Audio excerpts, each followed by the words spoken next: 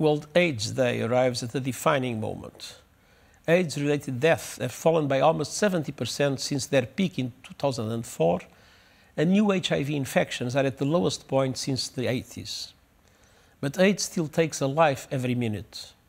We can and must end AIDS as a public health threat by 2030.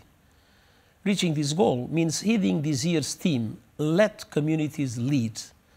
The path to ending AIDS runs through communities from connecting people to the treatment, services, and support they need, to the grassroots activism pushing for action so all people can realize their right to health. Supporting those on the front lines of the battle against AIDS is how we win.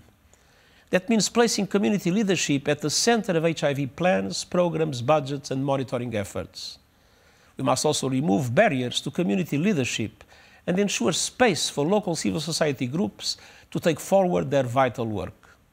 Above all, we need funding.